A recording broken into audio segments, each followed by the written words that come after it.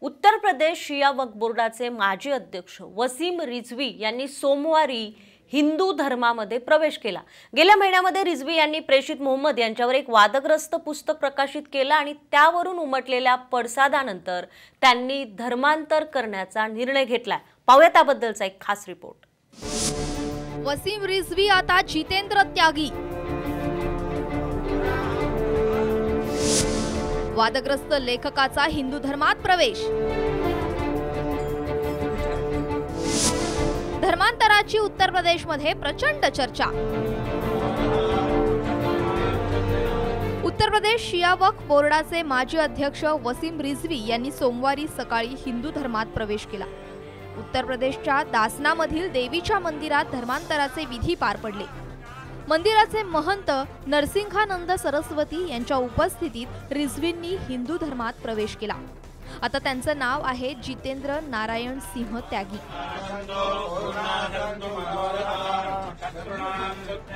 जब मुझको इस्लाम से निकाल ही दिया गया तो अब ये मेरी मर्ज़ी है कि मैं किस धर्म को स्वीकार करूँ। सनातन धर्म दुनिया का सबसे पहला मज़हब है, पहला धर्म है, और जितनी उसमें अच्छाइयाँ पाई जाती हैं, इंसानियत पाई जाती है, हम ये समझते हैं किसी और दूसरे धर्म में नहीं है। और इस्लाम को हम धर्म समझते ही नहीं हैं। गेल्या महिनाभरापासून रिझवी वादात सापडलेत. चार नोव्हेंबर रोजी त्यांनी प्रेषित मोहम्मद यांच्यावर एक पुस्तक प्रकाशित केलं. पुस्तकाच्या मुखपृष्ठावरील फोटोवरून गदारोळ झाला. त्यावर एक पुरुष आणि अर्धनग्न स्त्रीचं चित्र होतं. पुस्तकात प्रेषित मोहम्मद यांच्याबाबत मजकूर असल्याचाही आरोप झाला.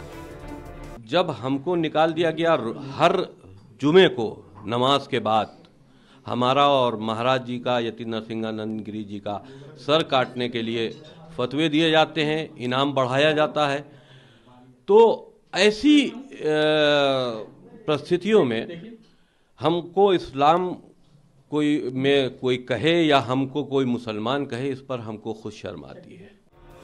मुस्लिमांचा पवित्र ग्रंथ कुराणमध्ये काही बदल रिझवींनी सुचवले होते. तेव्हाही ते वादात सापडले होते. यासाठी त्यांनी सुप्रीम कोर्टात याचिकाही दाखल केली होती जी फेटाळून लावण्यात आली. आता हिंदू धर्मात प्रवेश केल्यावर त्यांचं पुढील पाऊल काय असेल यावर युपी मध्ये चर्चा सुरू आहे.